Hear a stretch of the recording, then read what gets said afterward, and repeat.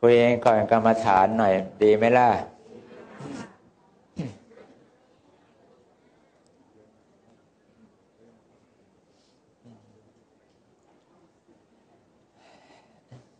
จะชอบทำบุญแม่ ถ้าเขาเอาเงินของเธอไปทำบุญจริง ๆ เธอดีใจไหมล่ะ แต่ถ้าเขาไม่เอาของเธอไปนะ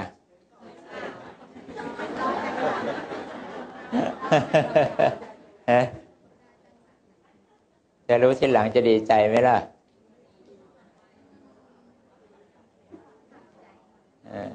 ฮะ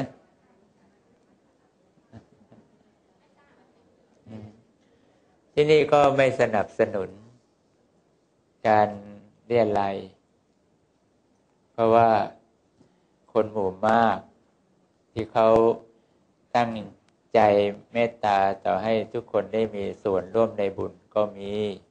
ก็มีเมตตาก็มีนะบางคนก็เมตตาตัวเองกะได้เข้ากระเป๋าตัวเองเยอะๆอย่างนี้มันก็มีได้เราก็ต้องกันเอาไว้ก่อนนะคือถ้าเป็นอนาเขตบริเวณที่เนี่ย เราก็ไม่ไม่ทำกิจในการ ที่จะเรียนไรหรือบอกบุญใครดีไหมล่ะกันเอาไว้นะ เราไม่รู้ว่าจริงก็ดีไปถ้าไม่จริงเราก็ก็น่าเจ็บใจใช่ไหมบาสตังของเรามันก็หายากนะไอ้ไปตกต้องไอ้คนไม่ดีเรียกคนพาลมันก็ไม่ควรว่าอย่างนั้น แต่ห้ามเฉพาะในเขตนี้นะ นอกเขตเรื่องของเธอนะ เราไม่ก้าวก้าวไก่ก็ไปอย่างนั้น แต่เฉพาะในเขตเนี้ยถ้าจะทำก็มาบอกกับเรานี่จะทำอะไรนะ บอกกับเราแต่เราเห็นว่ามันเหมาะสมเราก็จะบอกเองว่างั้นนะก็มีที่เคยคุยกันก็คือเรื่องสื่อที่ไปเรียนอะไรบอกบุญในลักษณะเป็นตัวหนังสือก็ดีหรืออะไรที่เป็นสัญลักษณ์แจ้ง ความประสงค์จำนงอะไรแบบนั้นนะ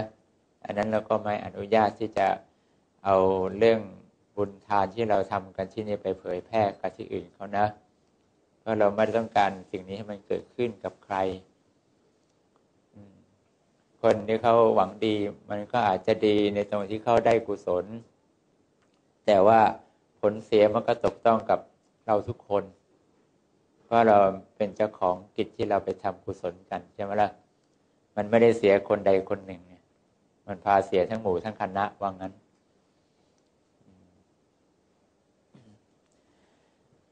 เราก็ถือปฏิปทาแบบหลวงพ่อนี่แหละ เพราะหลวงพ่อท่านก็ไม่เคยทำไม่เคยที่จะไป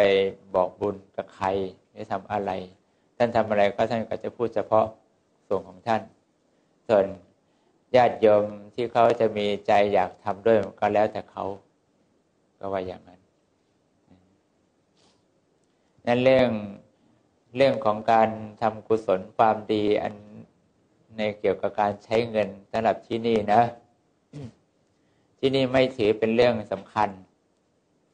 ที่สำคัญคือว่าขอให้เธอมาได้ใจอยากอยากฟังธรรมอยากปฏิบัติธรรมหรืออยากจะรู้ในความในการหาหนทางเพื่อไปดับทุกข์ของใจของเธอเอง ไอ้เนี้ยที่เนี่ย ยินดีรับเสมอ มาเถอะเล้งไม่อันอ่านะเล้งไม่อันแต่เพราะถ้าประมาเพราะอย่างอื่นแล้วก็เราไม่อยากเปลืองสถานที่เรา เพราะว่าสถานที่ของเรามันไม่ได้กว้างใหญ่โตนัก มันจำกัด ใช่ไหมล่ะจำกัดสถานที่ ถ้าเขามาได้เหตุอื่น เราพวกเธอก็จะลำบาก อย่างน้อยเธอก็กินกันไม่อิ่มเออจะลำบากใช่ไหมล่ะที่นั่งที่นอนเธอก็จะลำบากไปด้วยว่างั้น แต่ถ้าเขาเต็มใจมาเพื่อจะได้ศึกษาปฏิบัติ ให้นั่นยังไงก็มาเหอะ อันนั้นยินดีรับว่างั้น